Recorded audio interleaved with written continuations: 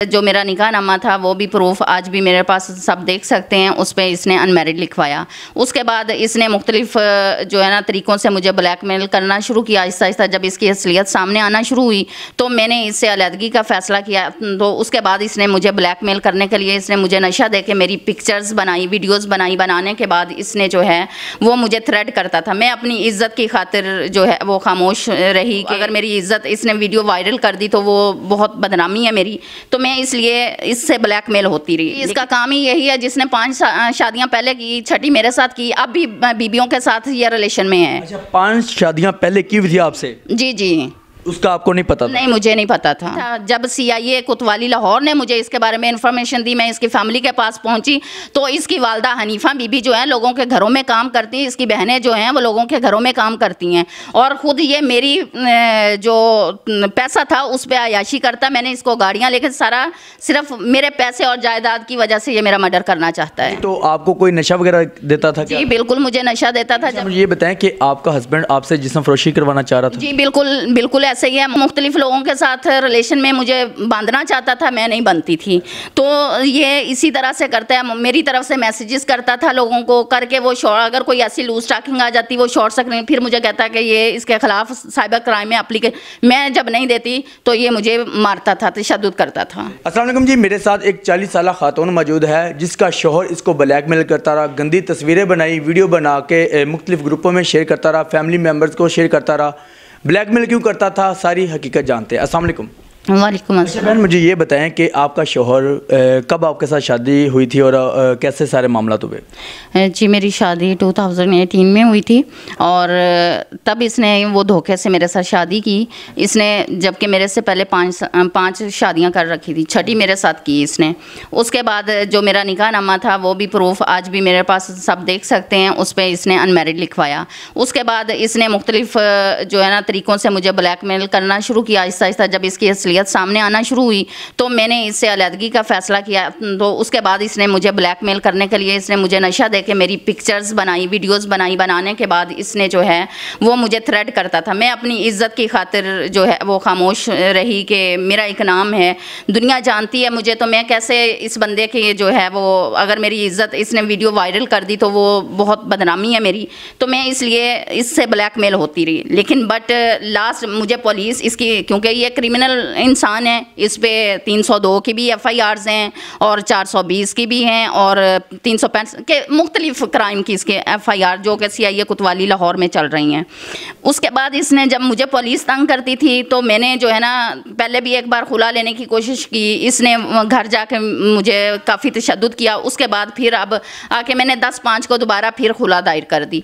जैसे ही मैंने खुला दायर किया तो इसने क्या किया, जो कि घर मेरे वालिद की तरफ़ से मुझे मिला हुआ, मेरा ज़ाती सामान था उसमें में इसका कुछ नहीं था। ये जाता है वहाँ पाकपतन में जाके सारा सामान उठा के ले आता है।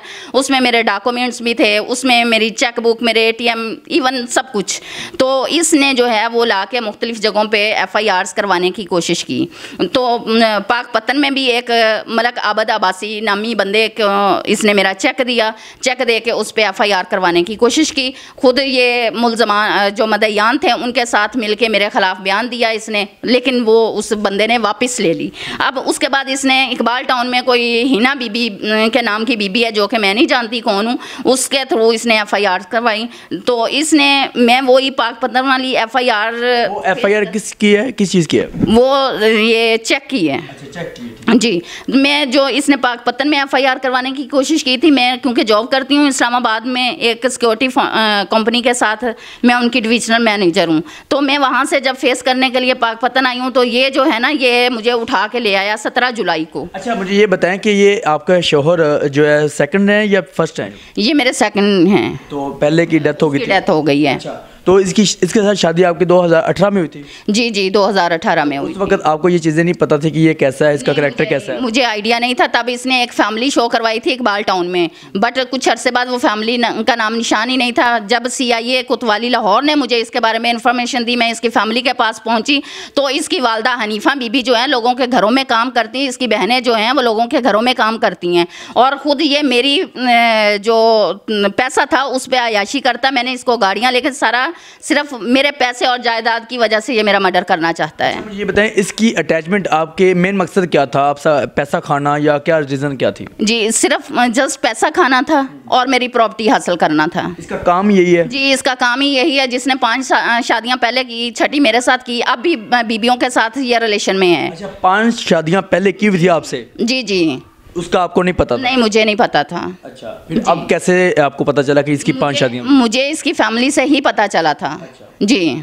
तो उसके बाद फिर आपको वहाँ पे अगवा करके बगैर निकाह के रखा आपको? जी बिल्कुल मेरी 16 जून को जो है मेरी खुला डिग्री हो गई थी। ये ज़बरदस्ती मुझे उठा के ले गया। मुख्तलिफ़ जगहों पे इसने रखा। रखने के बाद लाहौर ले आया मैं 9 नवंबर को एक छत फैलान के हमसायों की छत फैलान के तो वहाँ से निकली हूँ। नहीं तो आपको कोई नशा वगैरह देता था क्या? जी बिल्कुल मुझे नशा देता था जब मैं शोर करती थी जब ये मुझे कहीं बाहर लेके निकलता था। इसने दो बार मेरा मर्डर करने की कोशिश की ये मुझे पता नहीं किस जगह पे ले गया वहाँ बियाबान जगह में जाके इसने मेरा मर्डर करने की कोशिश की और इसने साथ मुझे ये बात बोली कि वाहिद तुम हो जो मेरे से हाथ से मर नहीं रही हो पहले मैंने इतना टाइम कभी अब कितने मर्डर किए हैं इसने मैं नहीं जानती। अच्छा। जी। अच्छा अब वो आपको क्या कह रहा है? मतलब आपकी तस्वीरें मुख्तलिफ़ लोगों को पहुँचा रहा है मतलब बरहाना जो तस्वीरें थी आप। जी जी। जी, बिल्कुल, वो इसीलिए कर रहा है कि मैं दोबारा उसके साथ बैठ जाऊँ और ये उसी तरह से मुझे ब्लैकमेल करे, मेरा पैसा खाए, मेरा सारा जो है ना, जायदाद हड़प करे। और इसने मेरा मर्डर करना है इसके अलावा कुछ नहीं क्योंकि ये बार बार यही कहता है कि मैंने तेरे भाई से ज़मीन लेनी है। अच्छा। तो ये सिर्फ़ मेरा मर्डर करने के लिए इसने मेरे से वीडियो बनवानी चाहिए भाई के ख़िलाफ़ अबू के ख़िलाफ़ के वीडियो बयान दो कि मेरा भाई और बाप जो है उसने अपने डेरे पे मुझे कैद रखा हुआ है जबकि कैद में इसकी थी। तो उन्होंने मेरा मर्डर कर देना है। तो मैंने वो वीडियो नहीं बनाई इसने तशद किया और बदतरीन तशद था जो कि मैं नौ मई को निकली हूँ मैंने जाके पाक पत्तन में जो है वो अपना मेडिकल करवाने के लिए गई हूँ। तो लेकिन ये हुआ कि वहाँ जब मैं गई हूँ मुझे पता चला कि मैं एफ़ आई आर्स में पी ओ किया हुआ है इसने मुझे कि इश्तहार ही किया हुआ है इसने। तो मैं फिर वहाँ से अपना मेडिकल बीच में ही छोड़ा। मैं इधर आई हूँ लाहौर लाहौर आके मैंने अपनी बेल करवाई है। अच्छा मुझे ये बताएँ कि आपका हस्बैंड आपसे जिसम फरोशी करवाना चाह रहा था? जी बिल्कुल बिल्कुल ऐसे ही है मुख्तलिफ़ लोगों के साथ क्योंकि मैं एक जर्नलिस्ट भी हूँ और कालम निगार भी हूँ और अरसा सात आठ साल से मैं ये काम कर रही हूँ। तो ये मुख्तलिफ़ लोगों के साथ रिलेशन में मुझे बांधना चाहता था, मैं नहीं बनती थी। तो ये इसी तरह से करता है, मेरी तरफ़ से मैसेजेस करता था लोगों को, करके वो शॉर्ट अगर कोई ऐसी लूज टाकिंग आ जाती, वो शॉर्ट सक फिर मुझे कहता है कि ये इसके खिलाफ साइबर क्राइम में अप्लीके मैं जब नहीं देती तो ये मुझे मारता था तशद करता था। इस टाइम आप क्या कहना चाह रही हैं? क्या चाहते टाइम मैं यही कहना चाह रही हूँ कि ये तवक्ल हुसैन वासिफ जो है इसके खिलाफ कार्रवाई की होनी चाहिए और सख्त से सख्त होनी चाहिए। मेरे पास इसके सारे प्रूफ मौजूद हैं और सारे डॉक्यूमेंट मेरे पास मौजूद हैं। ये नहीं है कि मेरे पास कुछ वो आप लोगों के सामने देखें आप लोगों ने आप देख सकते हैं। मैं अभी क्योंकि अपना आपको दिखा नहीं सकती हूँ यह गर्दन इसने मेरे गर्दन पर हथौड़ियाँ मारी हूँ जो आज भी स्वेल है। आप पे टॉर्चर तशद करता रहा आपको। तो मेरी आला हुकाम से यही गुजारिश है कि इसके खिलाफ कार्रवाई होनी चाहिए और जो है मुझे सपोर्ट करना चाहिए मुझे इंसाफ मिलना चाहिए। जी नाजिन आपने सारी हिस्ट्री सुनी है और इसमें कितनी सदाकत है और इसमें क्या चीज़ है? देखें कि छठी शादी की है और छठी शादी करने का मकसद क्या था? पैसा खाना सारी जायदाद हड़प करना यही उसका पेशा था यही उसका काम था। बाकी इनकी राय के लिए आप कमेंट ज़रूर कीजिएगा, इनकी वीडियो को शेयर कीजिएगा। मेरी अला काम से ये दरख्वास्त है, उस बंदे को ज़रूर कैफरे करदार तक पहुँचाया जाए ताकि आइंदा कोई बहन ऐसे शिकार ना हो।